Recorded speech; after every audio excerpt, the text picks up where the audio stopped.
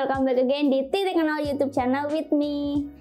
And in this video, we're gonna talk about the differences between future perfect dan future perfect continuous. Nah, jadi di video ini kita akan bahas mengenai perbedaan yang ada dalam tenses future perfect dan future perfect continuous. Karena dua tenses ini dibilang sangat mirip dan bagaimana cara menggunakannya, lalu bagaimana cara membedakannya, mungkin kita masih belum tahu. Nah, bagi kalian yang belum tahu, kalian harus simak video kita sampai habis, oke? Okay?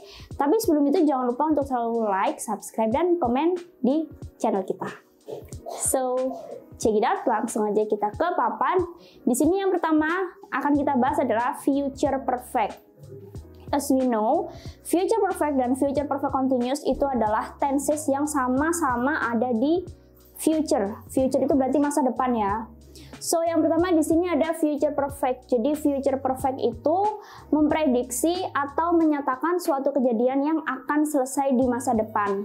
Maksudnya di sini kita sudah memprediksikan bahwa kegiatan itu akan sudah selesai di masa depan.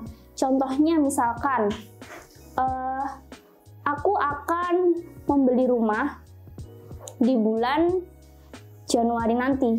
Berarti mungkin sekarang kita lagi proses pencarian rumahnya, lagi proses arguingnya. Nah, ketika di bulan Januari kita sudah selesai membeli rumah itu. Sekarang kita lanjut lihat ke rumusnya. Jika rumusnya dalam future perfect itu kita menggunakan subject will have verb 3. Nah, jadi untuk perfect ini kita harus selalu menggunakan verb 3 karena itu dalam future perfect pun tetap ada will namun ditambahkan have dan verb 3. Contoh kalimatnya ini langsung yang pertama ada they will have built the house by May.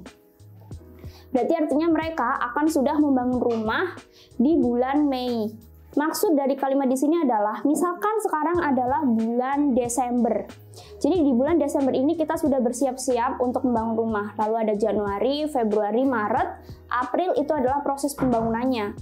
Lalu di bulan Mei diharapkan rumah itu sudah selesai dibangun, berarti sudah jadi, sudah dalam bentuk rumah begitu. Terus contoh yang kedua, we are so late, the play will have started by the time we get there. Artinya kita sudah sangat telat, dramanya akan dimulai ketika kita sudah sampai di sana. Berarti maksud contoh kalimat di sini adalah sekarang mungkin kita sedang perjalanan menuju ke sana. Kita sudah tahu kita telat, maka ketika kita sudah sampai di sana, pertunjukannya sudah dimulai. Begitu maksudnya. Itu tadi tentang future perfect. Jadi digunakan untuk memprediksi suatu hal yang sudah akan selesai di masa depan. Jelas ya, paham kan? Nah, sekarang kita move ke future perfect continuous. Gimana nih maksudnya?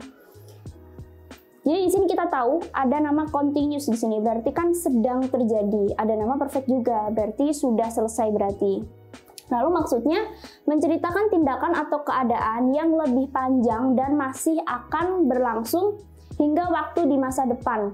Jadi maksudnya future perfect continuous ini adalah kejadian yang diprediksi akan sedang terjadi di masa depan dan sedang dan sudah selesai juga di masa depan itu. Jadi maksudnya misal kita berencana untuk liburan ke Bali di bulan Agustus nanti selama tiga hari dan setelah itu langsung pulang. Nah karena sekarang masih bulan Mei, maka pasti kita sekarang prosesnya lagi mencari tiket pesawat, booking hotel, mungkin mencari teman di sana dan lain sebagainya. Nah, nanti ketika kita berangkat ke sana, itu kan sedang terjadi dan akan selesai di tanggal yang sudah kita tentukan. Begitu. Dan future perfect continuous ini juga terjadi peristiwa-peristiwa yang lain sebelum peristiwa kita ini terjadi, gitu ya. Misal nih, tadi karena kita punya rencana untuk liburan ke Bali selama tiga hari di bulan Agustus. Karena sekarang masih Mei, maka akan ada peristiwa lain yang terjadi selama bulan Mei, Juni, Juli sebelum masuk ke Agustus. Seperti itu. Nah, langsung saja kita lihat ke rumusnya. Di sini ada subject will have been verb ing. Karena dia continuous, maka selalu menggunakan verb ing. Karena dia ada perfect, maka menggunakan have dan been. Subject will have been verb ing. Contoh kalimatnya yang pertama, I will have been living in Jakarta for a year by next year. Aku akan sedang tinggal di Jakarta selama satu tahun di tahun depan. Nah, dia sudah memprediksi nih, kalau tahun depan dia akan tinggal di Jakarta selama satu tahun. kan itu belum terjadi, tapi kita sudah mengatakannya, maka itu menjadi yang akan sedang terjadi. Nah, lalu yang kedua, she will have been visiting his brother for a week by the end of the year. Jadi, dia akan sedang sudah mengunjungi saudaranya selama satu minggu di akhir tahun ini. Jadi ini misalkan sekarang kita berada di bulan Agustus, akhir tahun maka di Desember kita sudah memiliki rencana untuk mengunjungi saudara laki-laki kita. Maka saat itu kita sudah merencanakan bahwa kita akan tinggal di rumah saudara kita selama satu minggu di bulan Desember nanti. Dan setelah selesai satu minggu maka kita balik lagi. Nah, itu adalah proses dari future perfect continuous. Jadi berbeda ya dengan future perfect. Kalau future perfect sekarang kita sudah proses melaluinya dan diharapkan selesai di masa depan. Tapi kalau future perfect continuous kita sedang memprediksinya, sedang merencanakannya yang akan sedang terjadi dan sudah selesai juga di masa depan.